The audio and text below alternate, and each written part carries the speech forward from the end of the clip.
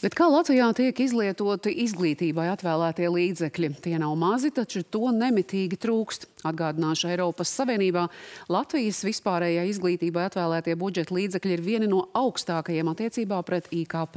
Un arī pašvaldību budžetos izglītībai atvēlēta liela daļa. Bet pedagoģa algas ir viens no zemākajām Eiropā un izglītības kvalitātes rādītāji stipri vidēji. Kur paliek nauda? Sižeta sērijā skola kā iespēja turpina Danuta Juste.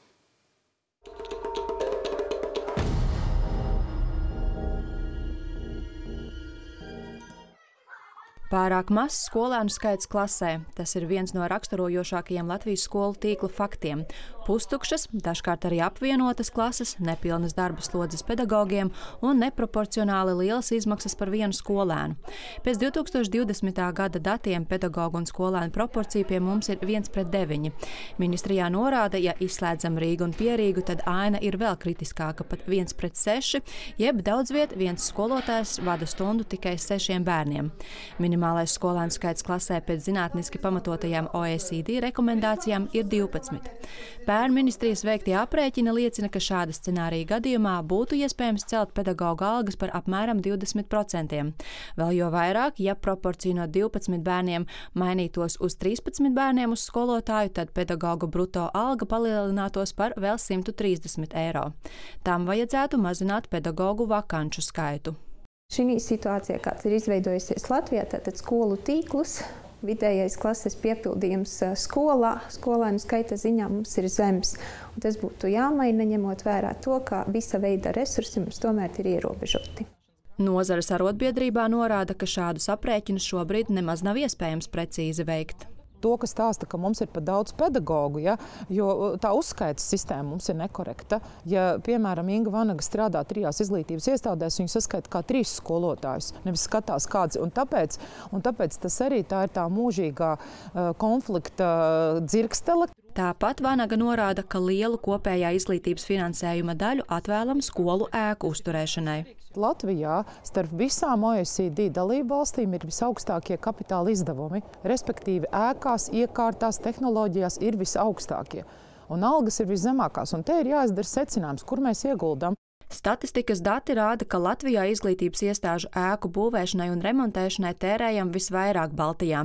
Piemēram, 2019. gadā trīs reizes vairāk nekā Lietuvā un teju divas reizes vairāk nekā Igaunijā. Latvijā arī labi iekārto jau esošās skolu ēkas, bieži triecienu tempos. Valstis, kuras pēc 90. gada ieguva neatkarību, mēs ļoti labi atceramies, kādas mūsu skolas bija šie standarta projekti, 70. gadi, tādas siltkārta ēkas, tad visi esam izgājuši to procesu, skolu ēku siltināšana, modernizācija, aprīkojuma modernizācija, kādi tie visi soli, pie kā sēž bērni, ergonomika. Un tas viss ir uz izmaksām. Mācību iestāžu reorganizēšana arī prasa papildu izdevumus. Un lūk, piemērs. Branguļu sākuma skola, tātad 1 līdz 4 klase, tiks likvidēta, to pievienojot trikātas sākuma skolai, bet Branguļu pirmskolas sadaļa paliks turpat. Turklāt, lai to varētu paplašināt no divām uz trim vai pat četrām pirmskolas grupiņām, kā iecerēts novada domē, ēkas pielāgošana varētu prasīt vēl apmēram papildus 70 tūkstošus eiro. Šobrīd man ir grūti spriest, vai tas ir izdevīgi vai nav izdevīgi, jo es tikai saprotu to, ka būs vairāk darba jo līdz ar to būs izglītības iestāde divās ēkās. Savukārt skolu likvidācija nevienmēr nozīmē ietaupījumus, jo dažkārt bērni turpina mācīties slēgtās skolās, kas pārtapušas filiālēs. Vai arī skolēni ir jāved uz citām mācību iestādēm, kas prasa visai ievērojams līdzekļus no pašvaldību budžetiem. Piemēram, lai nogādātu visus skolniekus Nautrēnu vidusskolā tiek organizēti pieci skolēnu autobusu reisi un divi sabiedriskā transporta reisi. Tālākais posms, kurp jādodas pēc bērniem, ir 19 km attālumā no skolas.